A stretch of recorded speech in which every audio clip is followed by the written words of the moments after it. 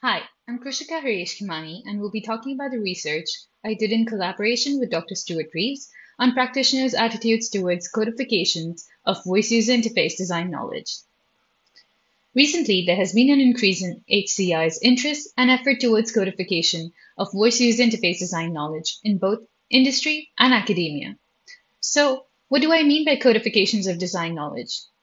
I simply mean documenting design principles, guidelines, heuristics, and best practices for voice user interfaces.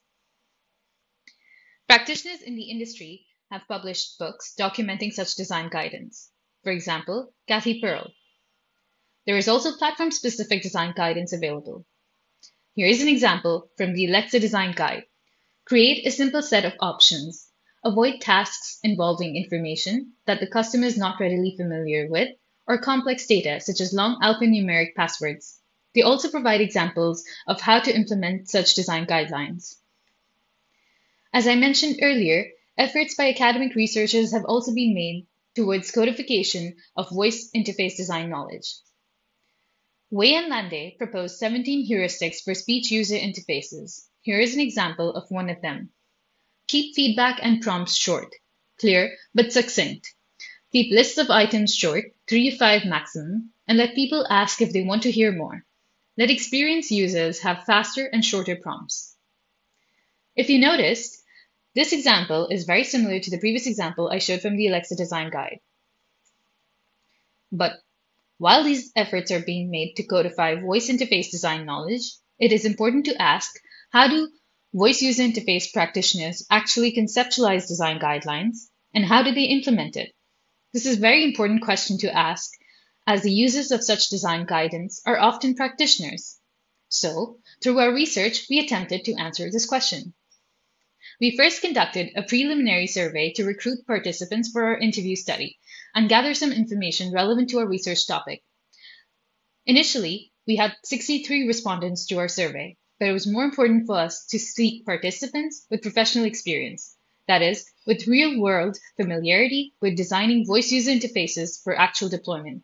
42 respondents met this criterion.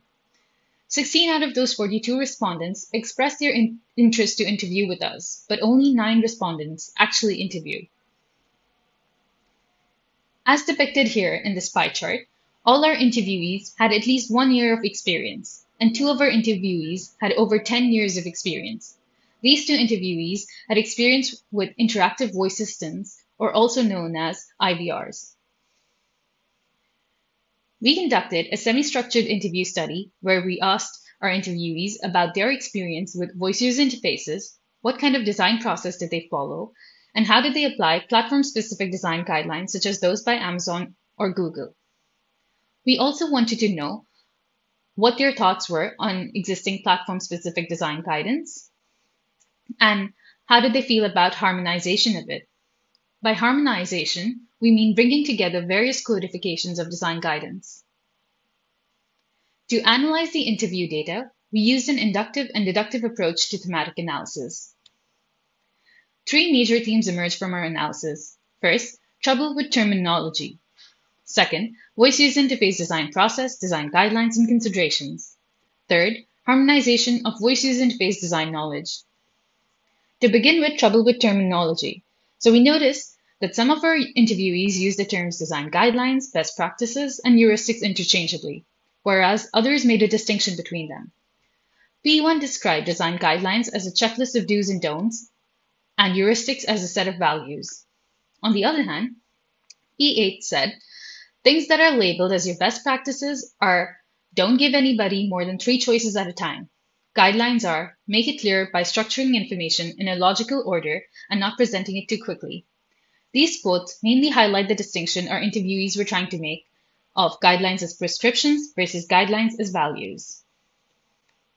Moving on to the second theme, voice interface design process, guidelines, and considerations.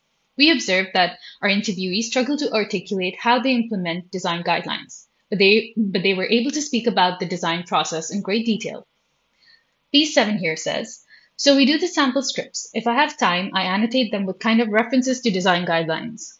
Once we approve the scripts or start it, usually I'm also recording myself kind of talking through the dialogue.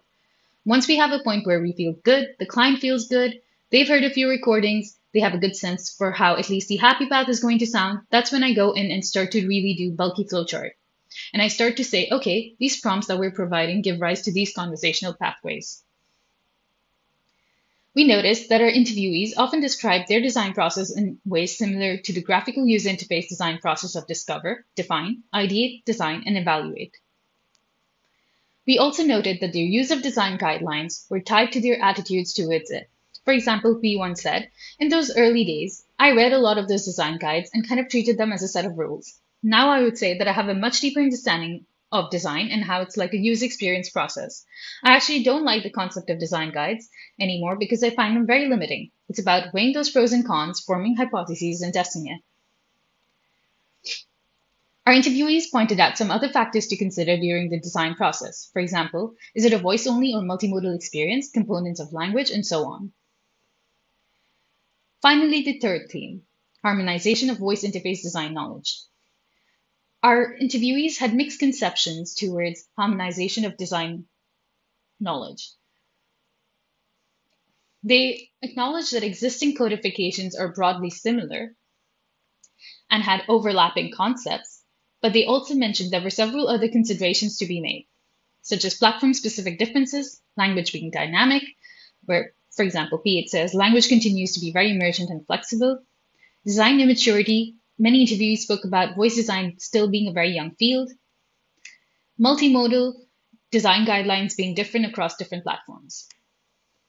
Finally, going back to the question we asked early on, how do, how do voice user interface practitioners actually conceptualize design guidelines and how do they implement it?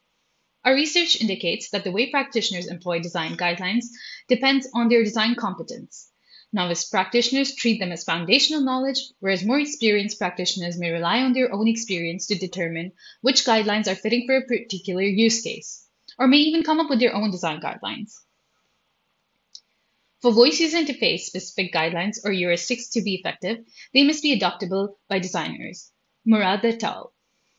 As we mentioned earlier, our interviewees struggle to articulate exactly how they implement design guidelines while designing for voice user interfaces.